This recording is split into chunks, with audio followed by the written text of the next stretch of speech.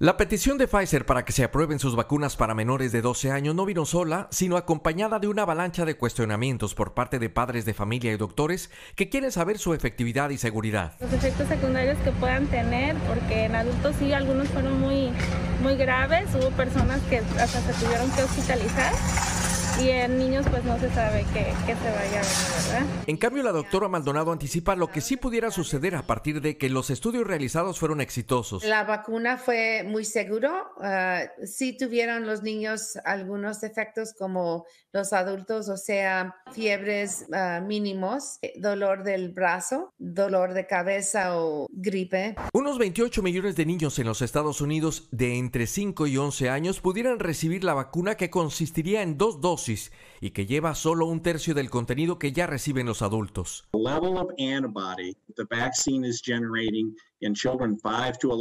El presidente de la farmacéutica dice que el nivel de anticuerpos que la vacuna genera concuerda con el nivel de protección que han recibido los mayores de 16 años. Mucha gente piensa que este virus no afecta a los niños, pero hemos visto que hay miles de niños que han sido internados en hospitales y Convencer a todos los padres no será fácil. Encuestas recientes indican que solo el 30% vacunaría de inmediato a sus hijos. Muchos que están bien y se mueren, nomás les ponen la vacuna. Yo no me la he puesto ni quiero ponerse a mis hijos tampoco. No, mi bebé, gracias a Dios, ahorita ha estado bien sano, ha salido, no se me ha enfermado. Y pues yo no tengo la vacuna, ninguna de mi familia está teniendo la vacuna y gracias a Dios hemos estado muy bien y yo, no, yo no siento que lo necesite ahorita. En contraste, otras madres de familia no dudarían en inmunizar a sus hijos. Si la vacuna es importante para nosotros, más para ellos que están chiquitos. Pues la verdad yo pienso que sí es buena idea porque quizás ya con esto salgamos de esta pandemia porque la verdad se nos ha complicado mucho. Y... Lo que pasa es que yo también tuve el COVID y yo sí fui a parar al hospital y por eso yo quiero ponérsela a mi niña también. La aprobación pudiera darse antes de Navidad. Según los CDC, 120 mil niños en Estados Unidos perdieron a alguno de sus padres debido al COVID y una gran parte vienen de minorías. El presidente Biden no quiere que además los niños pierdan la salud. Folks, vaccination requirements work and there's nothing new about them.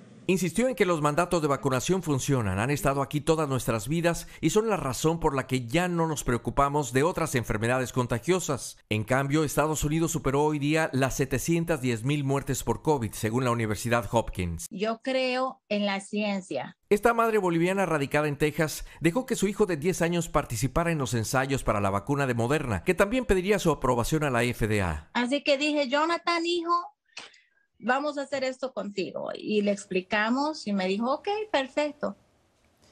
Y está motivada además porque dice que el cuerpo de su hijo puede ayudar a muchos otros. Bueno, pero el grupo de científicos que asesora la FDA para la toma de decisiones se reunirá el 26 de octubre para debatir la autorización de emergencia para esta vacuna, pero insistimos, pudiera ser hasta noviembre que tengamos una aprobación general.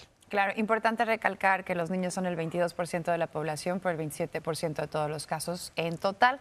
Más adelante vamos a conversar precisamente con el cirujano general de los Estados Unidos sobre este y otros temas. Martín, muchas gracias. Siempre un gusto. Gracias, Martín.